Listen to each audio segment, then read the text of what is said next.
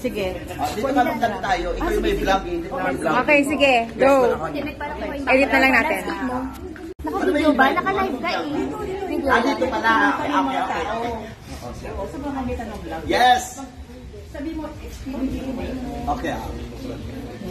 Go. Hi everyone! Welcome to the ruins. This is Roger Lucero of Pinoy Big Brother 737 third big placer. And now I'm inviting you to visit the ruins. If you have time, please come and visit Negros Occidental. Because always remember, if you're here in Negros, your visit is not complete without this place. But your experience in this place is not complete without me. So see you here, guys! Thank you. Bye.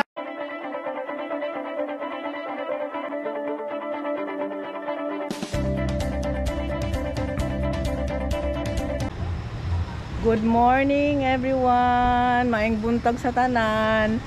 Nandito kami sa La Castillana. Pupunta kami sa um, anong tawag noon? The ruins at saka ano nga 'yon, An? Hindi ko alam yung isang lugar basta puntahan namin mamaya. Mag-stop over kami, kakain kami, mag-almusal kami. Ang ganda ng view dito, oh. Tamo. Tamo guys, ang ganda ng view, oh. Yan. Paikot ang bundok from Canlaon. Naku, letter S ang daan namin. Nahilo ako. Pero tinan mo naman ang view, oh. Yan. Kaganda. Yan. First time kong pumunta dito. Kung hindi ako tumanda, hindi ako makarating dito. Ang sa ngalan aning ano dahil La Castillana Gawahan View. Yan. Ah, ito yung way na papunta kami doon sa ruins. Huminto muna kami dito sa La Castillana Gawahan View. Cafe ba, Day? Cafe. So, dito kami kakain. Ayan, oh. Lang, kaganda. Oh, mo. Ate, dito, Tio. Ganda. Oh, Day, mamaya.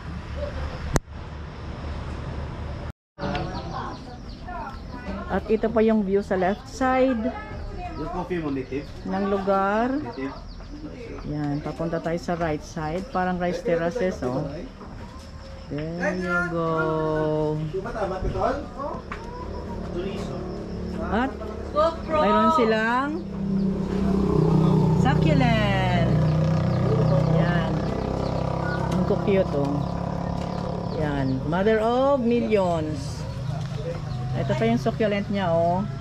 Ang dami. Ang lamig dito sa lugar na to, guys, kasi halos, ano, mataas na yun to. eh. Bundok to, eh. Ayan, mga succulent niya. Ang dami. Ay, nakakita na naman ako ng succulent. Namimiss ko yung mga succulent ko. Ayan, oh. Kuga. Malayo. Okay na. One. naka- yes. Ito ako guys, oh, ang ganda ng view dito, oh. Ayan oh, parang may rice terraces siya dyan. Ayan oh, tinan mo ang ganda. Yan. O, oh, diba? Kinuha naman ba ako ng view? Ikaw din, te, ikaw din. Diyan ka. Ayan, yan, yan, yan. Yan na, yan na. Welcome to the ruins. Tara guys. Hello guys. Andito na tayo sa harap po ng ruins. Ito yung ah, fountain. Ayan, ikutan natin. Ayan. Ito yung aming car. This is the side. Doon tayo papasok sa likod. Ayan. Kim, say hi Kim. Kim, say hi. Ate Mek, say hi.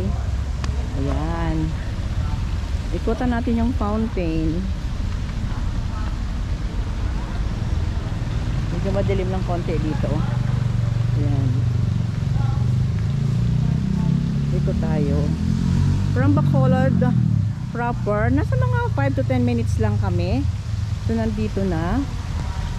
Ayan.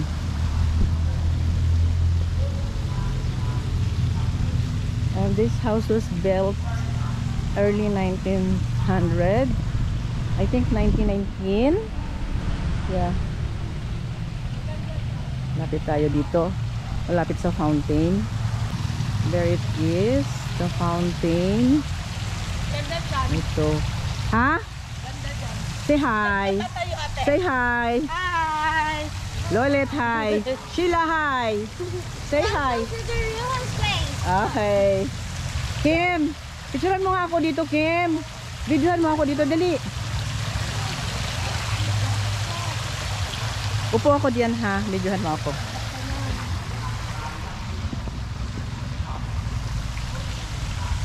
Hello! Yung fountain. Pero ang init, pero okay lang, masaya. Ang ganda. Okay na. So, yun ang front. Ayan. Yung front house. Ayan. Meron din sila dito yung restaurant. Ayan. May resto pero walang tao. Ito yung sides. Ayan. Yeah, this house was built during the Spanish regime. At syempre, Castilla Loy ang may-ari. Yan, mayroon silang grotto. Punta tayo sa grotto. Ito yung grotto nila. Yan. Sa right side ng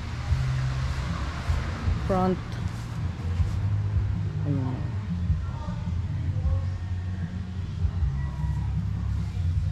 Tapos ito yung garden. Andun yung fountain. Ayan. So, ito pa yung karwahe nung araw. Ayan o. Tingnan natin kung mayroon pong nakasulat. Parang wala.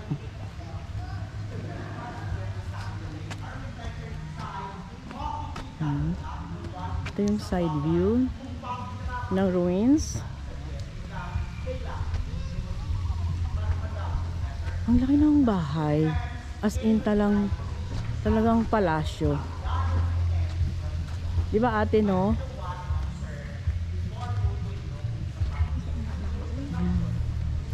Ah, huwag ka dyan sa maputik. Ano ka ba? Naman ako sa putik. Oo. Ano to? Hindi ko alam. Resto din. May isa pa silang resto. Wow. Ano to? Prince of Orange. Philodendron. Ang ganda.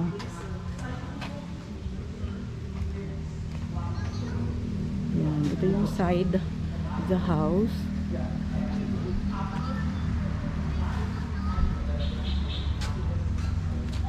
Ikot lang tayo.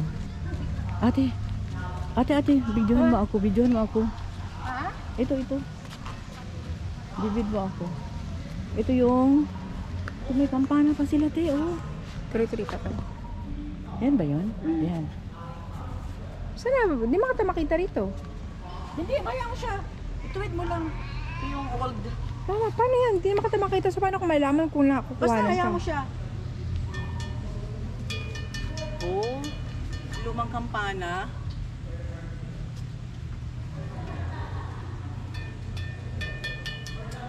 O, diba? Lumang-luma.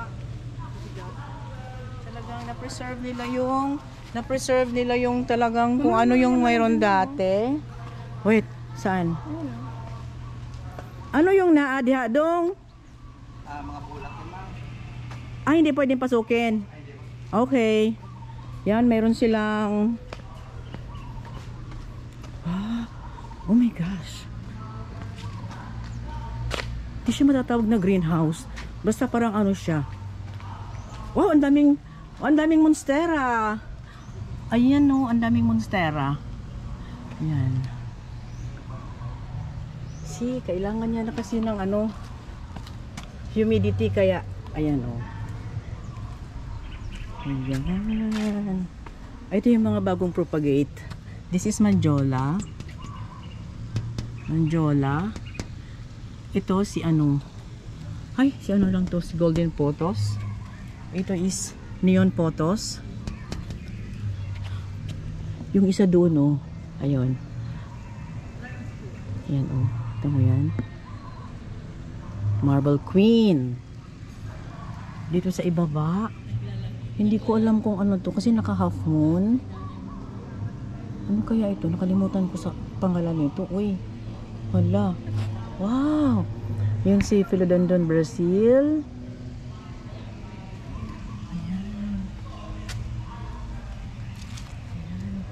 Gustong gusto nito ng mataas na humidity.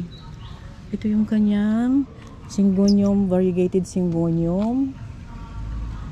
Ayan. Hi! Syngonium wendlandii. Wendlandii. Ayan. Ang dami. Philodendron at saka Syngonium at saka Monstera ang mga nakalagay dito. Ito yung giant. Parang ito yung giant golden potos ba? Ayan. Kaya ang ganda ng variegation niya. Mayroon pa sa taas. Mga bagong propagation to na kailangan ng mataas na humidity. Kaya dito nila nilagay. As in, naka... Yan.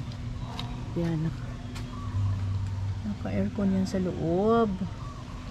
Ang dami. Tapos ito pa yung sa taas na yun, oh, yan yung water na unti-unting bababa. Binutasan lang ng konti yung ano ng mineral water. So, ganun pala ang nila ginawa nila. So, ganun din ang gawin ko, oh. Ay, ang dami, oh. Ayan. Barley max, marks, ayan, oh. Variegated. Ha! Ang dami. Daming monstera. Grabe. Ano yun? Monstera Porcidiana? Parang yun. Yan. Parang galing ng Japan yan. Yan oh. Ang dami pa oh. Ayan. So, yan, naka-close yung dito. Baka ayaw ipakita. Oh, na-amaze naman ako dito. Ang dami nilang mga propagations ng mga ano, Philodendron monstera at saka syngonium. Siguro dito office to. Ayan. Dito tayo guys. Ayan oh. Ayan. Yung kanyang grow light. May grow lights lang nilagay doon eh. There it is. Ayan. Ah, Siyang lalaki na oh. Daming philodendron. Ayun, ang mga Ayan. Ayun si Pinatom Albo. Ayan o. Kasing laki na yung akin dyan eh, sa dulo o. Ayan. Pero sa akin naka-open na buhay naman. Wow! Tara, tara, punta na tayo doon. Ikot natin dito. Ito yung kabuuan. Nandito na tayo sa likod. Oo, nasa loob dai. Ah, Ito. Yan. Ito yung bell.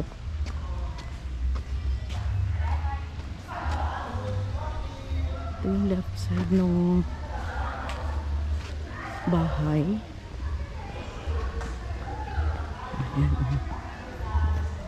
Ay, bawal umakyat. Pasok tayo doon. Sukin natin, guys.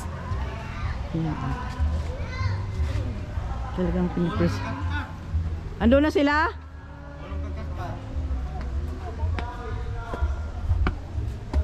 Ayan.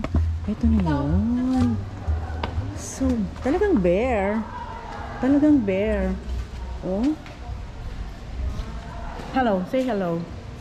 Hi. Ito yung terrace.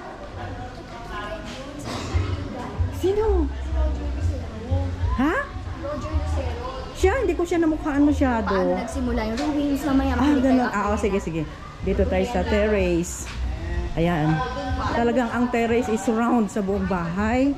Tama ba? Or hindi? Ah, dito lang sa lobby. Ayan. Yan, ito yung kanyang veranda. Yan. Talaga ito yung natira. Ang cute. Hmm. As in, talagang ang natira na lang talaga itong mga beam. Beam at saka yung, ayan oh, may, anong tawag dito? Ang tawag yan yung, ano na yan? Stainless na yan. Isa na malinawan sa kasal. Ayan oh. Tibay. Natin yung owner ng bahay. Ito, this old chandelier. I think, na-preserve din nila. So, siguro nga ito yung owner. Ayan oh. Who is this? Leon? Ano to? Leon Mariano Ledesma Lacson. And the wife is Maria Braga. Is. Oo. I think this is the family pictures. And I think the children. Oh. So, hi! Okay. Pasok tayo doon. Ah, ito naka-close. So, ito lang talaga. So, yung mga pictures. Ano itong mga pictures na ito? Ayan, bahay. Ito yun, oh. Ayan. Ang dami mga, ano, mga remembrance, mga nagtutour. Tapos na ano pa siya sa Sunstar. Dito tayo sa likod. Ah, naging CR na lang to. CR, CR, CR, CR. So this is the original structure. Wow, very high ceiling. See a window. Siguro yung window bago na yan. Sliding doors na eh. Hindi na yun yung old ano. Di masama So, yan. Lakad tayo papunta sa lobby. Look. Wow, so napakataas ng ceiling. Mas mataas pa doon sa bahay ni Dr. Jose Rizal. Ayan o. Mataas ng high ceiling talaga. Ayan o. Oh. So, nandito na tayo sa lobby. Saan si Kim? So, yan. Ay, walang... Ha? Ay, sa, sa dito sa... Ganun ba yun? Ah, okay. Tayo kayo dyan, tayo kayo dyan. Tayo, tayo, tayo muna kayo dyan. Tayo. Tayo. Tayo. Halika na! Ito yung mga turista. mga turista. Ha? Ayan. Dali na! Tingnan mo yung bahay. Oh. Grabe. ah. Actually, hindi siya gaanong kahabaan, kalakihan. Mga high ceiling lang at saka talagang yung foundation is talagang napakatibay. Ayun. Makita mo naman, di ba? Wait,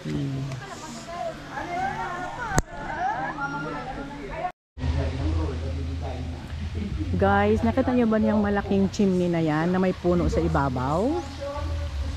Ayan. May story dyan. So, pumasyal kayo dito at malalaman nyo ang buong istorya dito sa mansyon na ito.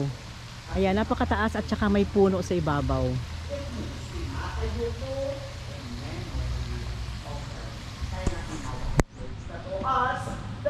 Tubuhan. Dahil makadabaw. 15 years pang nag-open ang ruins na ito for public at abandoned siya ng 67 years. At itong mga letters na ito ay may kanya-kanyang kwento. So napakaraming kwento sa mansyon na to. So visit kayo guys dahil sulit sulit ang pagpunta nyo rito.